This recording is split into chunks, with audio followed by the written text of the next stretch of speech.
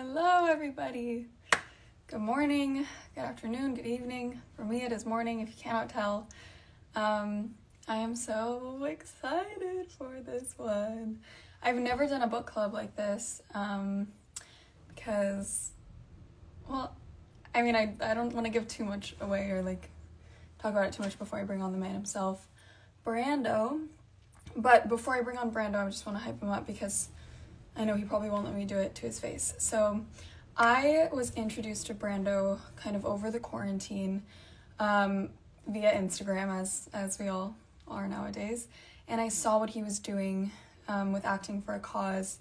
Basically, if you're not familiar with Brando's work, he started acting for a cause, which during the pandemic, um, he produced Zoom plays with incredible, incredible actors, and during a time when you know, there was no theater, you couldn't go to the movies.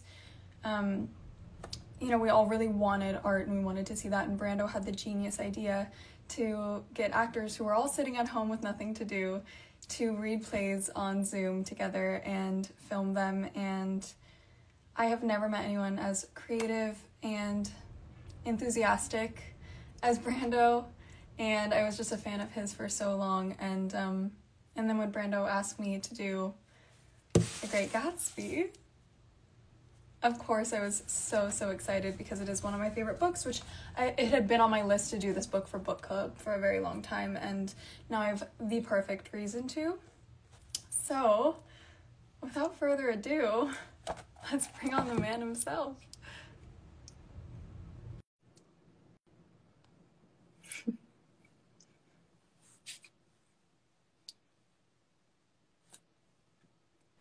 Hello, hello. How are you? Hello! How is Los Angeles? Are you there right now? I'm just being presumptuous. I am here right now, yes. And yeah. um, it's wonderful. It's very early here. I bet it's very early there. I'm lucky to be in Chicago. And okay. uh, not early, it's very cold. Um, yeah, it is warm here. So there's, yeah, we have that. That's the benefit. Well, thank you so much for having me on. Such kind words coming from another, I think, um, a person who I think uh, we're so like-minded creatively and mm-hmm. that uh, everything is connected and when people are meant to work together uh, you know the seeds are planted at one point and then it grows into mm-hmm. a tree for you to have watched my work early on and to now collaborate on our first in-person live read i think is an incredible journey to have been on with you oh well thank you for asking me and i also like i think because the pandemic is the reason I started my book club, and I know for right. you the reason you started what you do. It just um it just felt very very fitting to finally work together and to be able to do it in person, even though both of us I know the pandemic. right? Yeah, it's it, it's definitely. I think there was there was the the amount of projects that I followed during the pandemic, and I think a lot of creatives had at their disposal in mm-hmm. terms of being able to express themselves creatively were very limited. I think that a lot of people mm-hmm. just got really drained at the beginning of the pandemic, and a few creatives got very energized. And you were among them with the book club. Um, there was a couple other projects. You know, shout out to, to Jordan Firstman and Day by Day.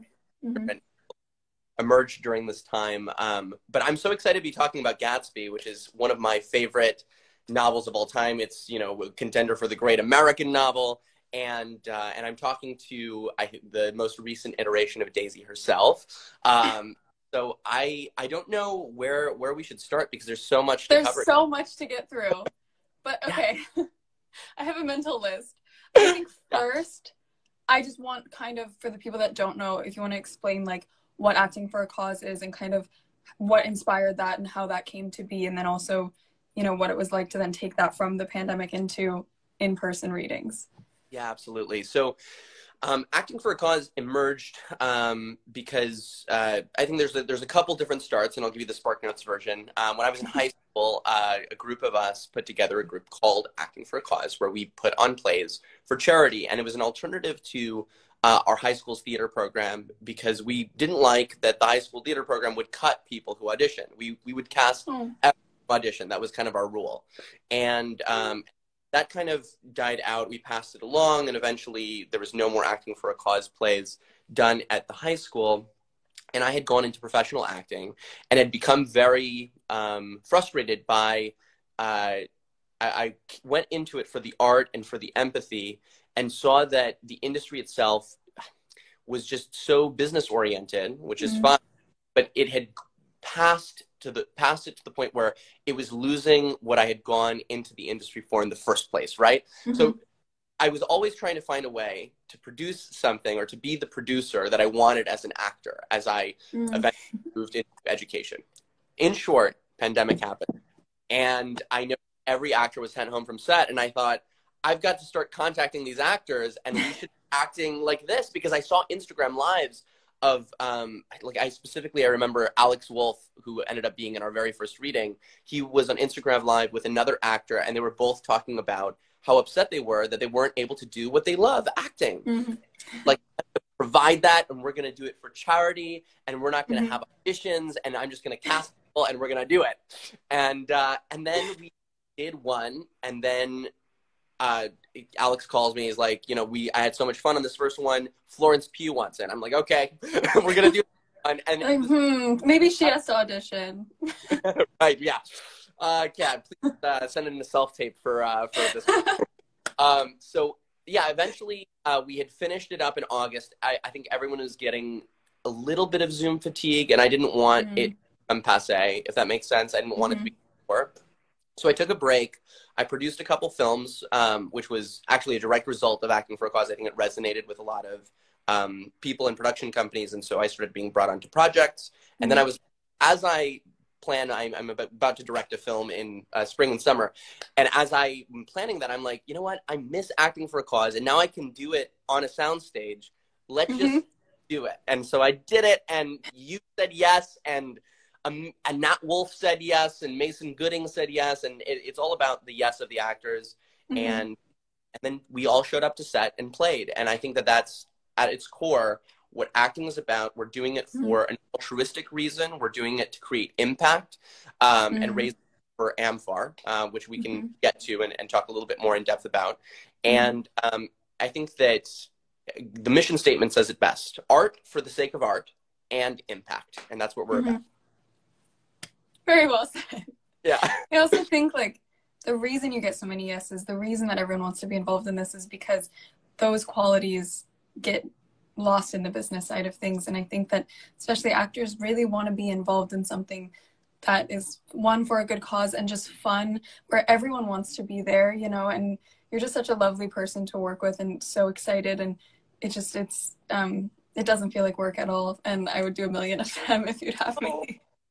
That's so kind of you, Kaia. Yeah, I, I, uh, I try to, I do everything in love, but it's it's so easy when the work is so fun and and Mhm. be adapt. I think that, um, you know, there's another side to all of this, which is that we're adapting a lot of very educational works. We're do, we did Shakespeare. We we're doing The Great Gatsby. Um, we also get to do some fun, uh, like modern things as well. So we did This Mhm. Is Our by Kenneth Lonergan. We're about to do Oh. The Breakfast Club, which is so exciting. John Hughes Estate gave us the rights. You know, again, they gave us Ferris Bueller. So it's it's all about sharing. I think I think great works of art um, Mhm. that uh, that not only serve a purpose of entertainment but education and being able to bring something like The Great Gatsby that has a lot of historical value and present it with actors that you know a lot of people are fans of is great. So thank you, Kaia. Thank you. Thank you. And I think a lot of people don't know that Brando adapted the version of Gatsby that we, we read himself. I did And which quickly. like not only did he direct, produce, star in as multiple characters and um and wrote it. So do you want to talk kind of about like why you chose Gatsby and and also like what it was like adapting such a that's kind of like a beast of a book to try to adapt, you know, if Scott Fitzgerald is not yeah. light and easy writing. So That's absolutely true. Now, actually, we have not in the I know, chat not shut up. saying, uh, "We do miss you, Nat. We do. We'll be able. Everyone will be able to tune in tonight. If you could bring three people on, can you do three people? You can't, can you? I don't know. I, I we tried yesterday with Mason, but we'll see. Kenneth Lonergan there, and Nat is. I wonder. Okay, so anyways, we're. Let's see Stop distracting that. if we can bring that on, I would love to. But in in prep for that, um, while you if you want to look at at the technical aspect, um, Okay. the adaptation. Mhm. um, I love Nat. Oh my gosh, he was so fun on set. By the way, just shout out to and the on set culture of shooting Gatsby. That was a blast. Um, to start off, uh, so I knew that I wanted to do Gatsby for a long time. Um, when I go about choosing a play to do, there's ones that are in the public domain, which I can just do for free, like Shakespeare. Mhm. And there's ones that have a process to them. Like when I did Up in the Air by Jason Reitman, I had to go to Jason, Mhm. I had to go to the studio that made it. I had to go to the other writer and get yes from everyone, or at least a letter of um, a letter of non uh, refusal or whatever. I don't know what it's called. Um, and I learned this process of getting getting rights for things through acting for a cause. Anyways, Great Gatsby goes into the public domain in January, and I know I want to do it at some point. Um, eventually, basically, I um, I'm writing my screenplay, which is called Rumspringa, and uh, and I got really stumped, and I was like, I need to immerse myself in great writing somehow. Um, I had not adapted a play before Kaia. I had never done this Really? right now. You And- wouldn't. I decided to start adapting it, and it's a slow process. Mhm. And I'm still working on the adaptation, and I start sending out invites to our cast. That includes you, because you were one of our, our you were you were the first invite. You were you were offered Daisy, and you were the first person who were confirmed for this reading. So uh, all of a sudden, the cast is asking for the script, and I'm like, I'm not nearly hmm. uh, and so the majority of this Kaia was done overnight in a crazy coffee episode of All Nighter. I'm going to be perfectly frank. That's the type of human that I am, and uh, and what I what I came out with that I thought it was going to be like this mess of a thing, um, but I had immersed myself in such a intense way that finished my screenplay and felt good about it for the first time. And I think that's what it's kind of like the old stories where you uh, person, young hero climbs up the mountain to meet the mentor. Um, and that's how I felt, immersing myself, you know, not being able to talk to F. Scott Fitzgerald or Zelda, which, you Mhm. know, are, are copied over from letters from her. Um, Mhm. But their rhetoric and their use of language and their command of language um, and their incredible storytelling helped me as a writer. And, and I feel like that's, um, that's something cool to share about the process of adapting Mhm. something like paused. there we go. I'm back. Um, so it, it essentially, I did it. Um, I ended up going into this like momentum state, and it ended up. Uh, I didn't know what I was going to get from it, and I ended up feeling really strong about the adaptation, and it ended up informing my own work. Well, that's wonderful. Yeah. And like you said, like the fact, I mean, I had no idea that it- it wasn't even written yet. I said, yes, I was just, I'd been wanting to work with you for so long and I was very excited. But even like when we were rehearsing on Zoom, Brando is like on the phone every five minutes, still figuring things out, still piecing things together. And then somehow you show up and it all fits together perfectly. But, um, you know, you do all the hard work so that us as actors can come in and just focus on, on our one job and you do every other job and act. Well, what's incredible is I, I don't want to you know take all the credit myself. I, I was able to do the the adaptation and direct and produce and do it with peace of mind because i'm just going to name a few names. Ty molbeck dave eilers joe blakey these people on set. Jared eng who came in came through and basically brokered a, a strong donation uh, from a brand dolce um, a price match. Um, and i not ah! that is taking over. Uh, talk about the root canal. Do you um, talk about I mentioned that yeah that i i i didn't even know that i i said that to nat. How did i get to nat? Um so I I planned this whole thing, and the very last minute, I have a, a root canal, um, and so I decide I'm like I'm not changing on this, and just load myself with Excedrin, um, and uh, I think that any doctor would tell you don't do that, but I yeah that was that was fun. I had on the day of the set. Um, I a don't true know warrior of the theater, true warrior of the theater. what That's you right are. go on. That's exactly. oh god. An important detail of the process. Important detail of the process, right there. Yeah, very important. Yeah. That informed a lot of the, a lot of the, um, the pace on set. It was like informed by the sharp pings of like, oh my god, we got to move forward. Um, Mhm. so I was, but I was naming people that were important. Jared. Um, Mhm. Also, we had original compositions, original animation. Um, Alex Mansour, Christian Hanover. So these are just I wanted to put those names out there because Mhm. everything is made with the team, and I feel like it's super important to give credit where due to volunteers. These are all people, including the actors, including myself. We're all volunteers who are giving our time for the art and for the impact um, to Mhm. Amazon. So, um, yeah, it was it was a blast of a process. I I really It was. I can't wait. I, I was so worried that I was going to do this and I was going to come out the other end and say, I don't know if I can do more of these. Now I want to do not only the three more we have planned for this year, or not for, for this season, um, Mhm. but I, I, um, I also want to like do this for the rest of my life. Like no matter where my career goes, like if I'm, my, my ideal is, you know, directing films for the, for the foreseen future. I still want to, in between directing, to do Mhm. the play readings because it, I feel like they just transcend Mhm. uh, they transcend the format of the way that we use our art. You know, in a lot of us, we were actors are doing self tapes, characters that no one ever sees, putting their life and and and energy into that. This gives an, a chance to to kind of do a a, a group tape and putting it out into the Mhm. world. And it's experimental, it's fun, and it's being done for the right reasons. So Yeah. we're, we're Oh. Okay, let's talk a little bit.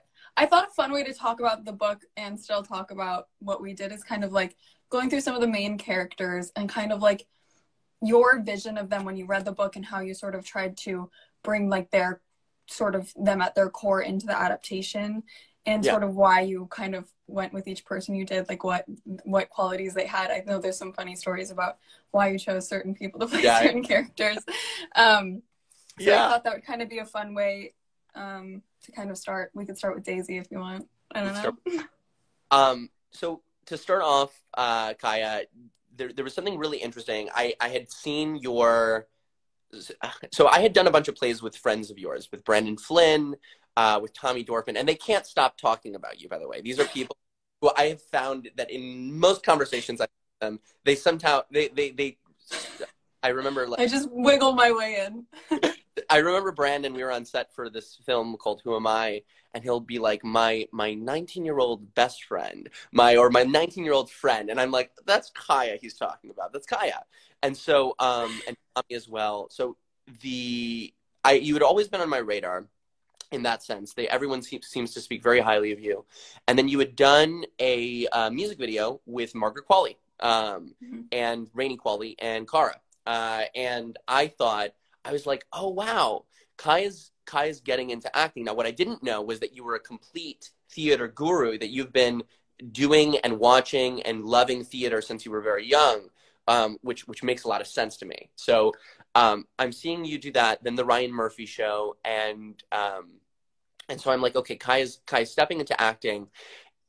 You're perfect for Daisy because it's like they usually cast Daisy older, blonde, all these things that are just inaccurate. I know Daisy is brunette. and so I thought there was an interesting thing um, also about.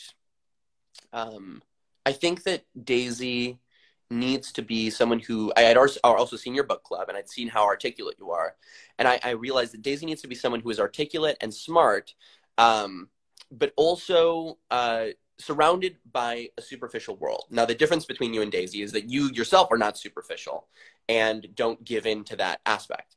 Um, so I thought it was an interesting, uh, you know, as an actor, it would be an interesting challenge in that sense.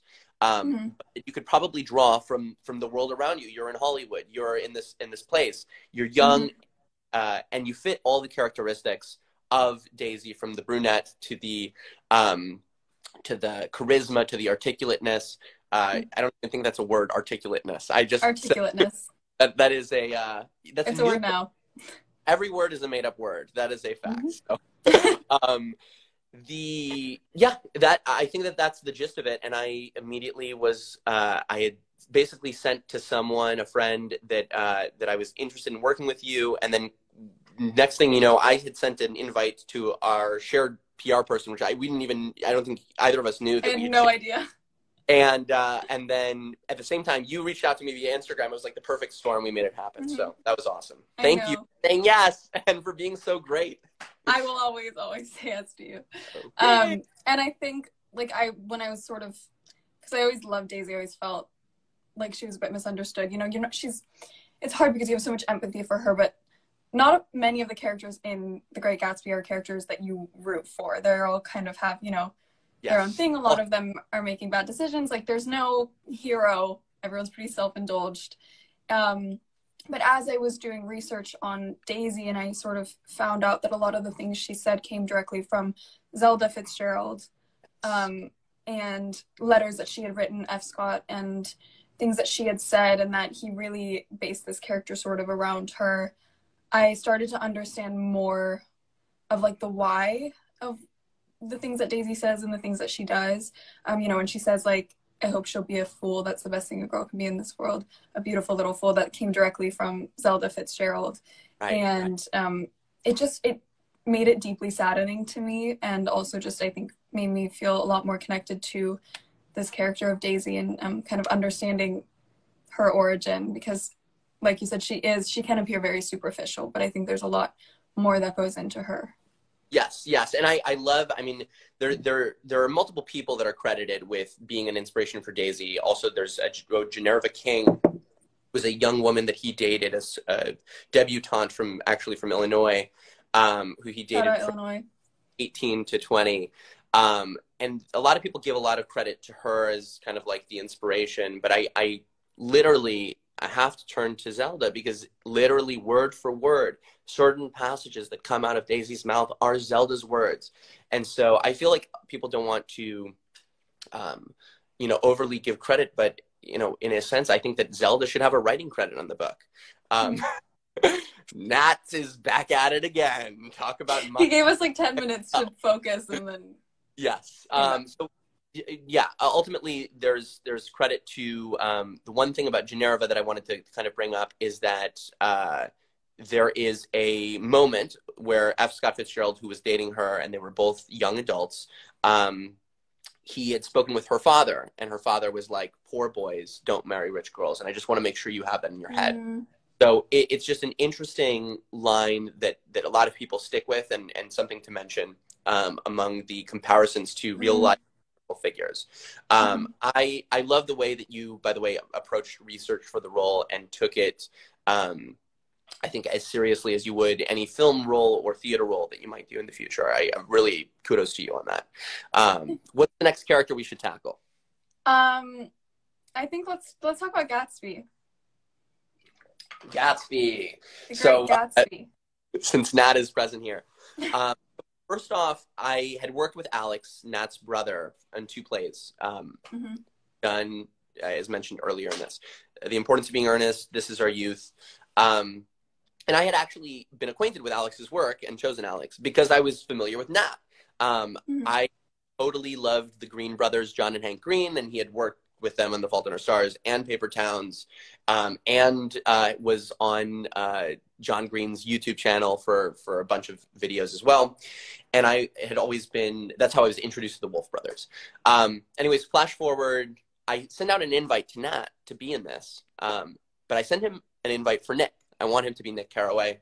I don't know why I went in that direction, um, but it was an instinct. Is it because he doesn't stop talking? I think that uh, well, with yes, no, I know. um, and and we say that with love. I would listen to Nat talk all day, every day. Uh, Nat, uh, Nat ends up going to the same Halloween party as me in uh, in Los Angeles. I was already there for the reading. We were still cast, casting the role of Gatsby, and uh, and I see him at the party, and I'm like, "This is our Gatsby." I've been making a mistake all along.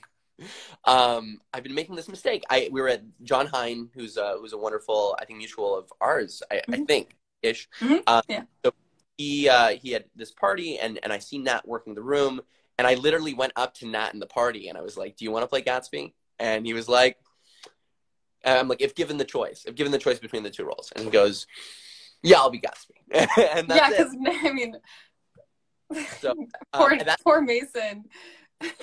so at, at that point we needed a nick.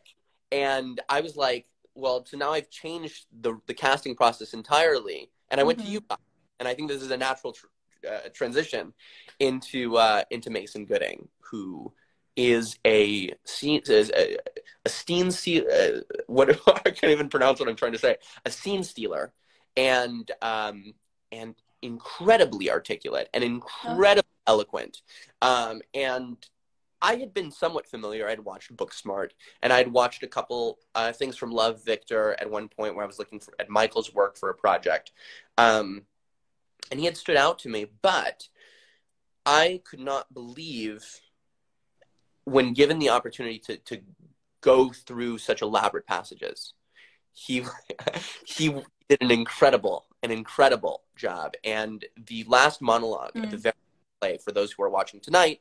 Uh, it is uh I've never been moved by that monologue in film. It's and or in a play. I, I feel like that monologue is just performed in a boring way because it lacks commitment or it has some sort of feigned commitment to it.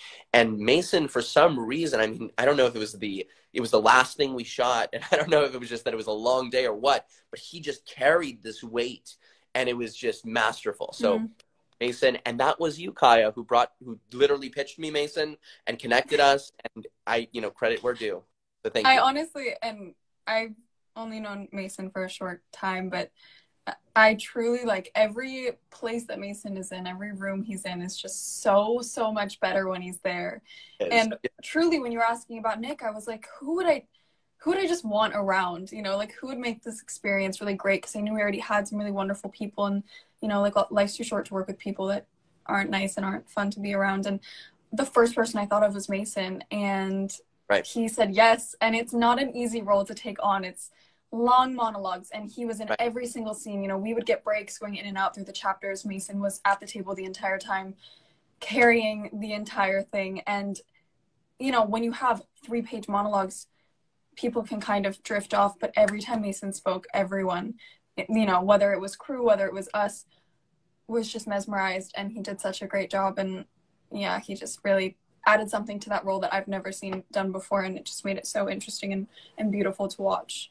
Hundred percent, hundred percent. I was very worried about Nick because I had made him such a, a central character in this adaptation. I, I've always Mm. been sort of con- conscientious of the fact that Nick is the weakest, the weakest link in most adaptations because Mhm. When translated to film or to theater, it becomes a visual medium, and um, and so you don't need the long descriptions or passages. And the beauty of our, you know, we're, we shoot this on a black void with a black background. All that we have Mhm. are our ourselves and our faces and most of it's close up um, like i told my one direction of the cinematographer was like we're shooting this Cassavetes style and uh, which we had actually talked about a little bit I know. emotions in the face and the micro emotions and the, the little interactions so if we need two people on the screen one person on Mhm. the screen and um, yeah I, I feel like he took these incredibly long passages and i mean i uh, i didn't know you know going into it what was going to happen and he ended up making that the easiest part so kudos to him kudos to him Mhm. All right, should we- we talk about Mr. Yeah. Tom Buchanan? Sir Tom Buchanan, uh, Jake Picking. So I had watched Ryan Murphy's Hollywood. I had watched Mhm. Ryan Murphy's Hollywood, and I had watched it for David Corenswet. He was our Romeo and Romeo and Juliet. He did Mhm. Romeo on the that Hollywood was released. So I was like, if he's given us all this time for our play on the week of his biggest release, I'm gonna watch, you know, Hollywood. And um, I've always been a follower of, of Ryan Murphy's work. I, I think that um, it's incredible the output that he he puts out there and I love the normal heart. I think that was so incredibly Oh done. my gosh, It's so good, and uh, and Matt Bomer. oh, so good, so good. Um, and and I thought that Jake did an incredible job in that show. I thought that he, um, six months later, eight months later, if I were to think of that show, you know, besides David and and I guess Jeremy did an incredible job as well. Mhm. Not to diminish other people's roles, but but Jake was very memorable. Mhm. And I thought played a very nice, sweet character, but I thought this guy is a hulking dude who um, love to challenge him and see him play the exact opposite. Someone who is uh, coming, who's high status, not low status like his mm-hmm. character. And so, literally, I gave him the role as a challenge. I thought that I wanted to see him play a role I had not seen him play. Mm-hmm. And and Jake truly was. I mean, the the amount of notes that he had on his script, the how prepared he was, and he walks in and he just looks like a like he was pulled out of the fifties.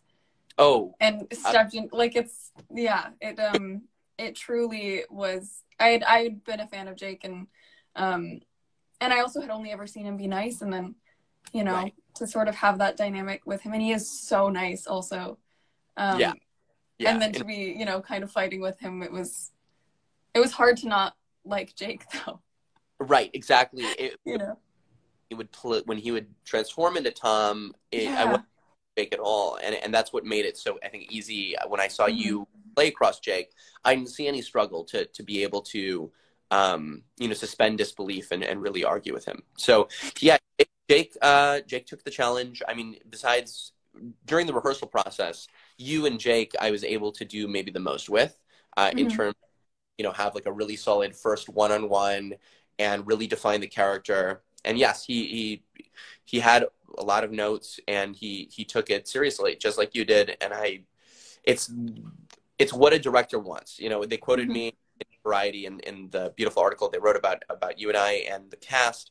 Uh, they, my quote was that 90% of directors that is a very common phrase, um, and it was it was so gratifying to be able to the sole cast casting person on this and to basically give someone a role and then workshop it as much as I can to see what they it's a it's a risk not to have any sort of like preview of what they're going to bring to the table. But that mm-hmm. makes it, I just love the surprise element of that. It mm-hmm. makes it cooler when you guys kill it and do such a great job that I'm looking at, you know, I've been spending the last two weeks with you all in the editing room and just seeing and I know it's it's it's incredible. I feel like literally like I was right before I'm still tweaking sound and narration and editing this. And, and it's out when is it? It's out today. It's out today at 6 p.m. LA time, 8 p.m. Chicago time. Um, and I'm still obsessively in like doing little little things. In My, true Brando fashion, you are working up until the very moment and during and after and yes it's right and and and it, again with the incredible team behind me that's we've had mm-hmm. We've had basically like a, a, a final edit since monday and i still i'm like can we do this Perfectionist. Oh, this. I need. We need to adjust mm-hmm. this clearer. Um, last night with like sound person, we're you know changing the the way that sound comes out. Um, mm-hmm.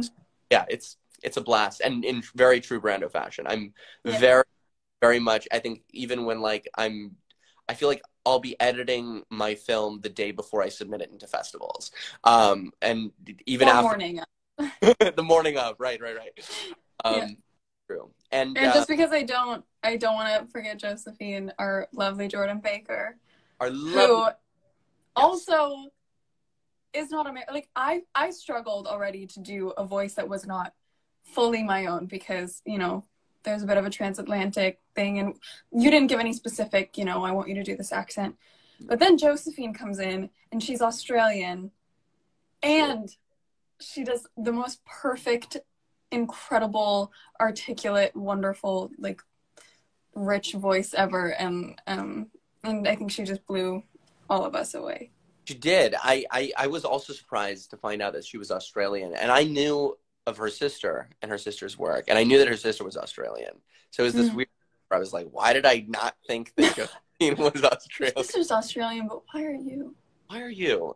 Um, so yeah, I um I uh I think that Josephine was I had actually heard of her work in a podcast called Day by Day. She was directed by um, a friend of mine named Johanna Block, and they had just talked about her, and and I had seen her on a list um, of a publicist that I like to work with, and pitched it to her, and um, she said yes, and and to be able to, I think Jordan's Jordan's an interesting role because she has to be a foil to Daisy. She has to be a foil to Nick. Um, she mm. has um, a lot of similarities to Daisy, and so it's really hard to create a distinct character. She did that, and she did that expertly. Um, and additionally, I think that right, the additional work to to remove the accent to do that consistently. Um, I don't know. It just takes a different level of commitment. I Mhm, uh, mhm. I was very impressed with her. I thought, uh, again, it was it was one of those moments where I felt like the stars had aligned with casting. Mhm, mhm. So- I uh, yeah, and we we have a couple. Uh, just to mention the supporting Owen Thiele, who I, I I had also met through a friend. Um, Love Owen. ex- comedic comedic love support. Owen. I love Owen to death.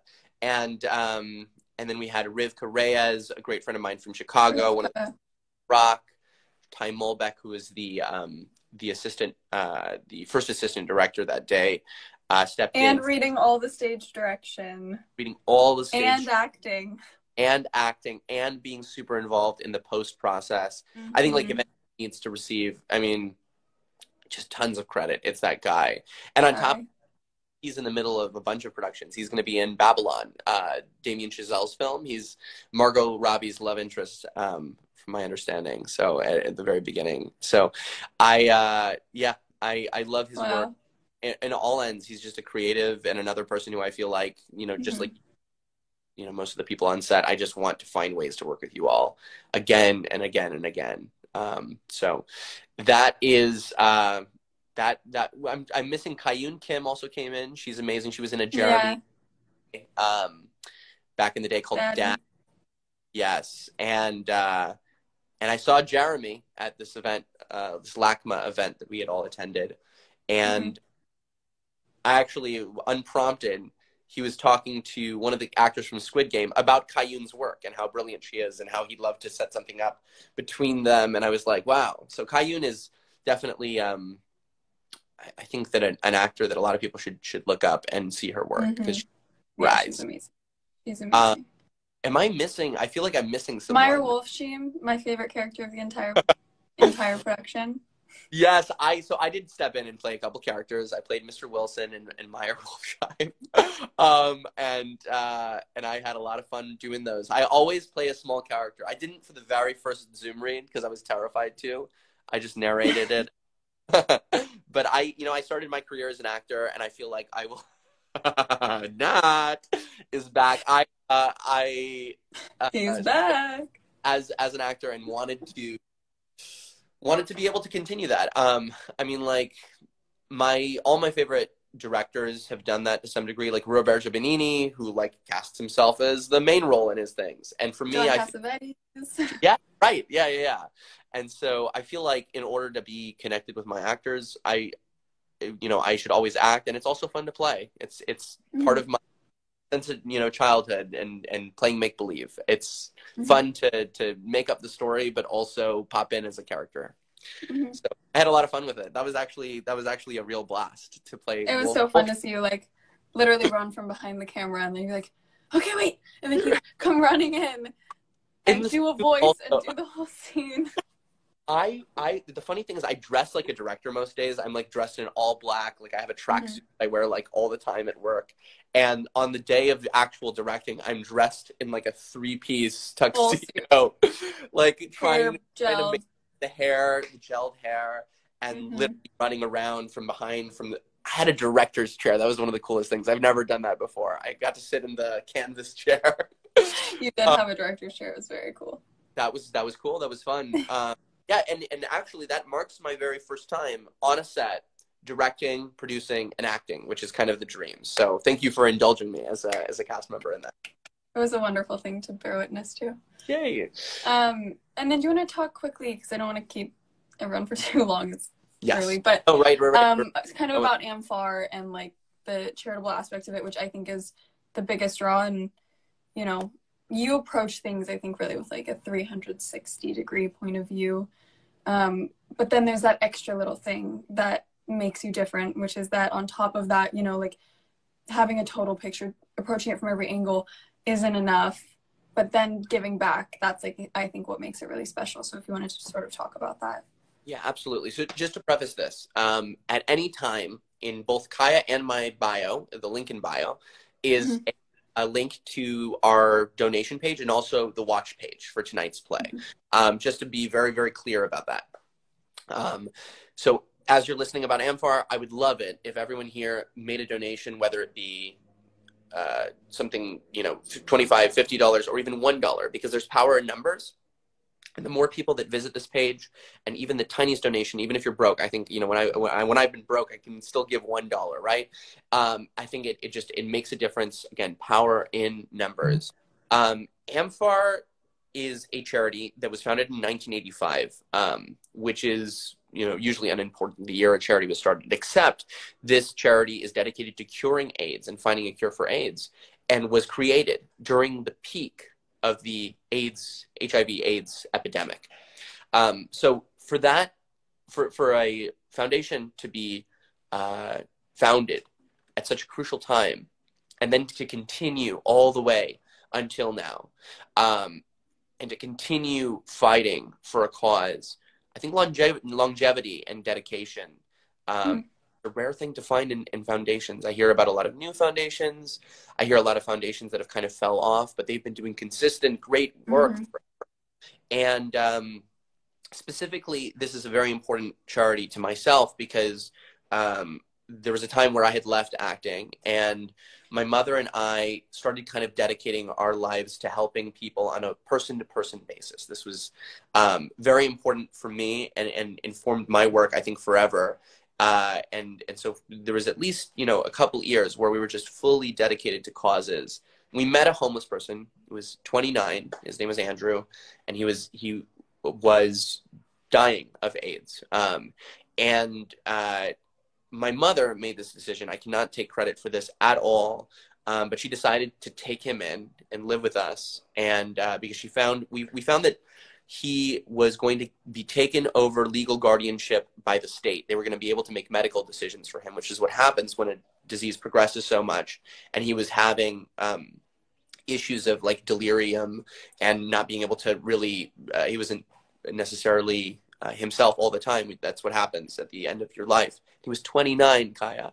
Um, mm So what happened was we took care of him for six months, and then he did pass away. Um, and uh, it was it was such a it was such a singular experience, um, and and learning the value of someone's life right before it ends, and at the time that is supposed to be your best years, um, to see someone suffer and to see someone suffer from a disease that is treatable but not curable. And so to be able to, mm-hmm. to with Amfar and to be able to work with an organization that both works to treat people but is also dedicated to curing something that took the life of someone who meant a lot to myself and my mother and i think in, mm-hmm. in the world um, you know I, I feel like like just every life is is as important as the collective um, just I, I feel like being able to do this in Andrew's memory is something that's really important and makes it that much more personal and special. So we have a beautiful organization. We have a very personal reason that I chose it, mm. and um, and I think that uh, we've already raised around sixteen thousand dollars between Dolce Gabbana's um, you know initial contribution and just mm-hmm. people donating right now. We would love to get to 30. That's our goal. So, you know, we're going to do it. We're going to do it. We're gonna, Even if everyone watching this live gave $1, we would have a $1,033. Right. And, and so, yeah, I mean, this is, again, everyone here, everyone who does this, we do it as a volunteer. We do it for all the, you know, all the reasons we've talked about before. But the one reason that trumps all that is the most important is the charity aspect. The fact that we're doing it for something much greater than us and much more important. Mm-hmm. Um, and that when, you know, uh, our show is, you know, just a video on the internet, um, the impact that these dollars will have made will be that much more important. Maybe this money, $1,000 mm-hmm. will go to treat a number, a community of people with AIDS. And maybe that community would not have had access to treatment if not, um, you know, maybe it will go towards an initiative that helps homeless people with AIDS, like Andrew. And uh, and there's just so many things that Amfar does and does well. Um, so it's a little bit off script the way that I'm talking about them. I know that they have rhetoric. It's beautiful. It's eloquent. It's all on the page in the link in our bios. Um, Mm. so you can read about that. Um, but but to me, it's about it's a personal thing and it's a personal project and it's about being able to to give money now um, to a cause that hopefully they cure AIDS and Mhm. and it, Mhm. amfAR doesn't have to exist anymore. So Mhm. that's the goal. Well, what a beautiful. I mean, I think that's a very beautiful way to end everyone with teary eyes. Um, but thank you so much for not not just coming on here, but from start to finish, everything about this process was so amazing.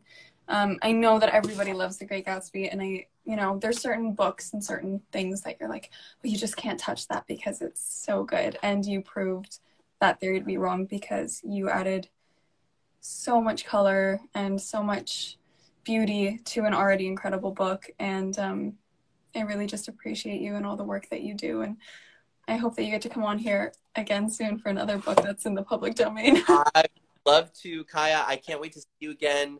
Um, and uh, yeah, we'll. Uh, I look forward to, to sharing the play with the world tonight. So thank you. i you. know Bye. bye